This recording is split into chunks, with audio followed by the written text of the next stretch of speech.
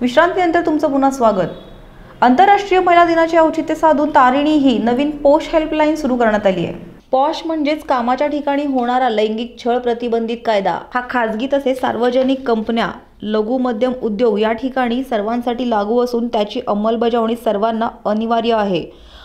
ओपोसच्या माध्यमातून गेल्या तीन वर्षापासून विविध कंपन्यांमध्ये कामगार तसेच कायद्याअंतर्गत येणाऱ्या अंतर्गत समिती सदस्याचे पॉश संदर्भात प्रशिक्षण घेतले जाते. काही कंपन्यांच्या अंतर्गत समितीमध्ये ओपोशमधील तज्ज्ञ आणि व्यक्तींचाही समावेश आहे. पॉश अंतर्गत चालणाऱ्या सर्व कायदेशीर बाबींच्या पूर्ततेसाठी कंपन्यांना सहाय्य करण्यासाठी ओपोश कार्यरत आहे. आम्ही तीन वर्ष झाले प्रिव्हेन्शन ऑफ सेक्शुअल हरासमेंट या विषयामध्ये काम करत आहोत आणि जसं आपण जर लॉ सांगतो की प्रिव्हे it's a prevention of sexual harassment तर प्रतिद प्रतिबंधात्मक काम काय करता येईल? या दृष्टीने आम्ही गेले तीन वर्ष वेगवेगळ्या ठिकाणी या लॉबद्दल अवेअरनेस करायचा प्रयत्न करत आहोत.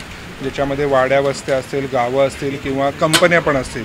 तर ह्या संदर्भात आम्ही काम करत असताना आम्हाला लक्षात आलं की जेव्हा जेव्हा आमचे ट्रेनर्स कुठल्याही ट्रेनिंग घेत असतात किंवा अवेअरनेस प्रोग्राम घेतात तेव्हा त्याच्यानंतर बऱ्याचशा महिला येऊन विचारत असतात की ताई हे झालं आहे तर काय करू? ते झालं आहे तर काय करू? असे त्यांना वेगवेगळे प्रश्न असतात. तर या प्रश्नांची उत्तरं त्यांना मिळण्यासाठी एक सोर्स असावा. या दृष्टीने आम्ही एक आठ मार्चला महिला दिनानिमित्त एक ल हेल्पलाईन लॉन्च करत आहोत तारिणी या नावाची. आहे तो आला आहे दोन हजार तेरामध्ये. आणि त्याच्यामध्ये दोन प्रकारे आपण सेक्शुअल हॅरॅसमेंट विरुद्ध कंप्लेंट करू शकतो असं आहे. की संघटित क्षेत्र असेल तर तिथे दहा आणि दहापेक्षा जास्त एम्प्लॉईज असणाऱ्या कंपन्यांनी इंटरनल कमिटी तयार करावी. आणि त्या इंटरनल कमिटीने सिव्हिल कोर्टसारखं काम करून एखादी केस हँडल करायला त्या महिलेला मदत करावी अशी ती साधारण गाईडलाईन आहे. हे करत असताना असंघटित क्षेत्रातल्या महिलांनी काय करावं? तर कोर्ट कचेरी न करता त्यांना एक दुसरी एंटिटी दिलेली आहे की लोक लोकल कमिटी लोकल कमिटीमध्ये जाऊन त्यांना सिमिलर प्रकारे स- याच प्रकारे कंप्लेंट रेज करता येते.